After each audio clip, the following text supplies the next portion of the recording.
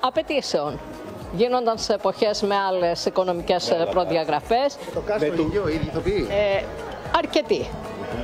Αλλά και καινούργοι και φυσικά δύο νέα παιδιά που έχουν ξαναπέξει στη σειρά. Τα, τα παιδιά που ήταν τότε μικρά παιδιά που τους δούμε. Ελπίζουμε γιατί εκεί στηρίζεται κιόλας στην επόμενη γενιά, the next generation.